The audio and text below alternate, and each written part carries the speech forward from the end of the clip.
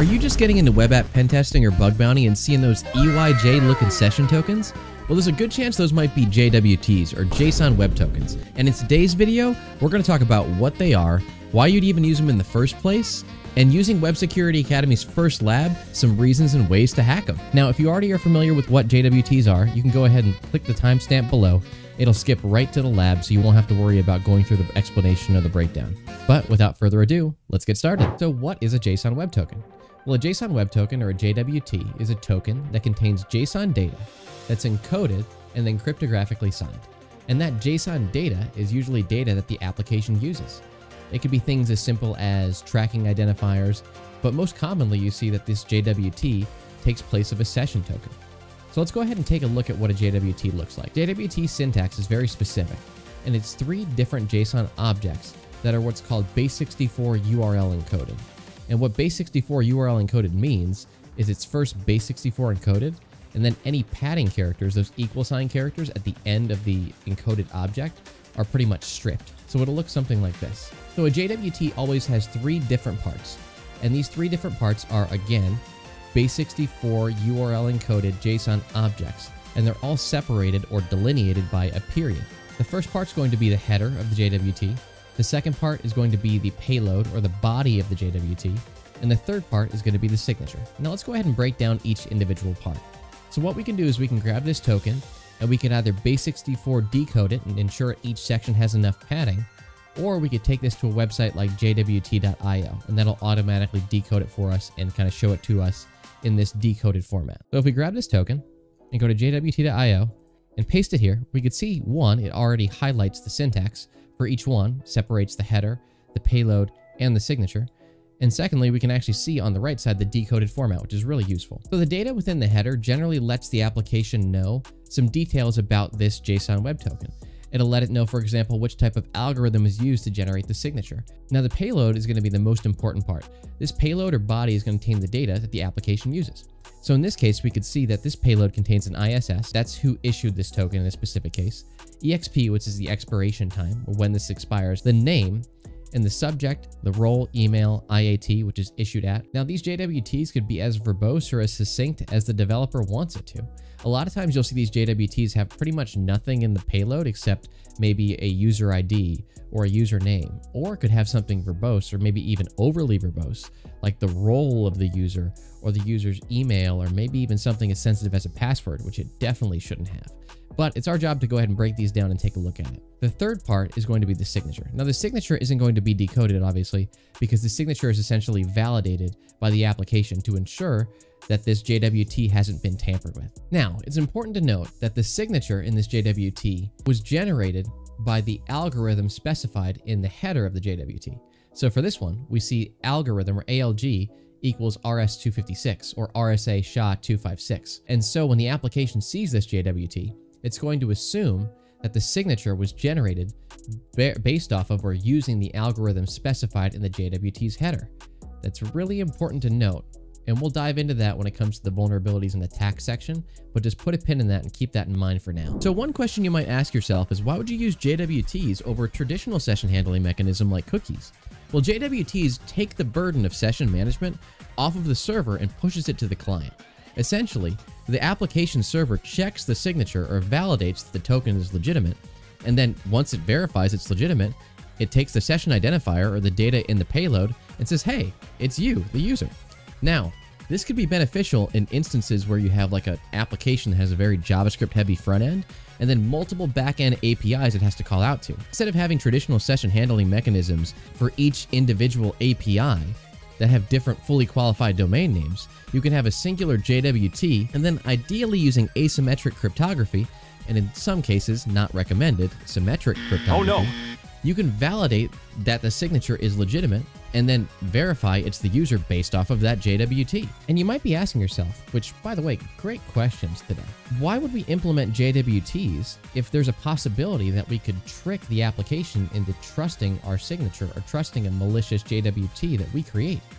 And the reason is because the JWT spec is really flexible by design. And really, the vulnerabilities that arise with mishandling JWTs is usually due to an implementation issue or some type of misconfiguration. And based off of how their JWTs look, we might be able to take advantage of this misconfiguration and craft our own malicious JWTs. Now, JWT attack methodology, as far as my perspective goes, the first step is going to be identifying that the application uses a JWT. And then from there, our methodology is going to differ based off of what we're seeing within that JWT's format or syntax, more specifically within the JWT header. Now, before we get ahead of ourselves, let's just dive right into this first application and look at the first vulnerability. Now, first thing we can see, it looks like a basic blog application. There's search functionality, my account, so authentication workflows, and it looks like we can view different posts. If we click on view post, it looks like it just shows us a post with a post ID and the URL, and there's comment functionality. Let's go ahead and see if we can log in. And it looks like we can log in. We'll go ahead and use the credentials provided, Wiener and Peter. And then post authentication takes us to the My Account page. Now we need to see if we can find a JWT. Now, if you use the extension JWT editor, this is going to automatically highlight the JWT or any requests or responses that contain JSON web tokens. So it's super useful to have. In this case, it looks like it identified a JWT passed as soon as we logged in. So if we go ahead and look at that request, we can see the response actually sets the JWT via a session cookie.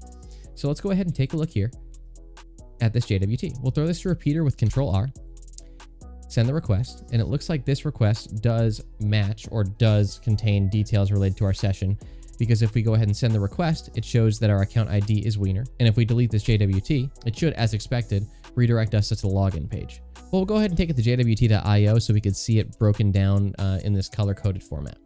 So we look at the header and we can see it has a KID and an algorithm, and the algorithm is RS256 or RSA256. The issuer is Portswigger, the subject is Wiener, and the expiration date is this expiration date here. And it actually breaks it down for us, which is really useful. Now looking at this token, whenever it comes to attacking JSON web tokens, I like to first identify that there is a JWT being passed or handled somewhere.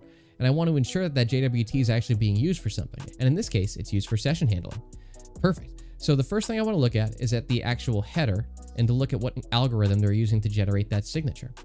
Then from there, once I know what algorithm they're using, I want to see if I could just modify the payload. If I could just modify the payload, maybe the application isn't even validating that signature. So let's go ahead and give that a try.